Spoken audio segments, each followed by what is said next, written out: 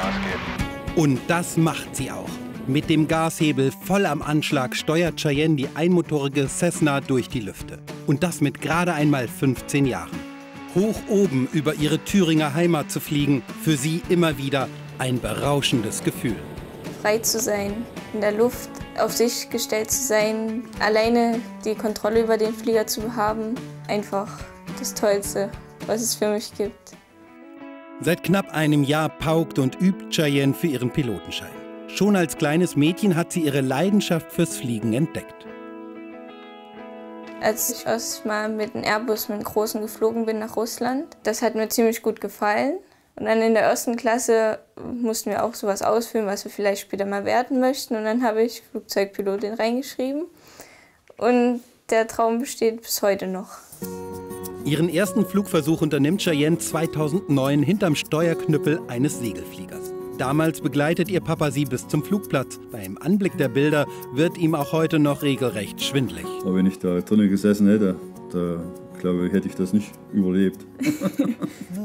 Vom Mut und Ehrgeiz, den seine Cheyenne für das Erreichen ihres Traumberufs aufbringt, ist der Lkw-Fahrer von Anfang an schwer beeindruckt. Ein traumhaftes Gefühl, zu sehen, dass, dass ein 14-jähriges Mädchen da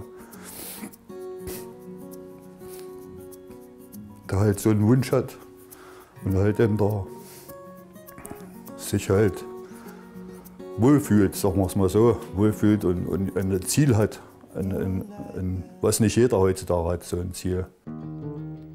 Zurück auf der Flying Ranch in Dermsdorf. Heute ist Cheyennes 13. Flugstunde. Bevor sie aber mit Fluglehrer Michael Schunke in die Luft geht, muss die 15-Jährige erst einmal die Maschine durchchecken. Das ist das Querruder und am wichtigsten sind die Anschlüsse hier drin, dass sie richtig fest sind und nichts wackelt. Ja, dass man eben fliegen kann.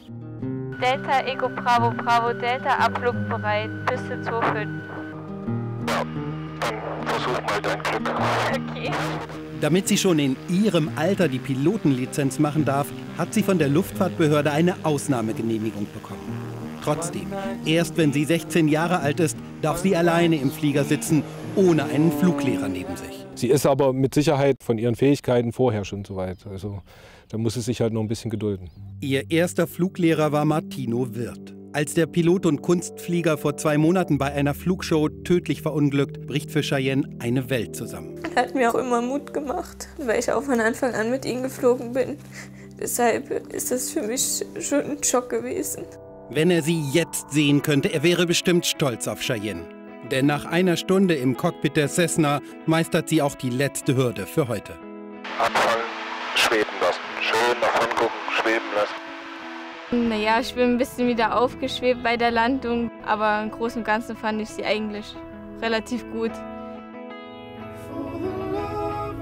Wenn weiterhin alles so gut klappt, bekommt Cheyenne in einem Jahr ihre Pilotenlizenz und ist damit ihrem Traumjob als Verkehrspilotin einen Riesenschritt näher gekommen.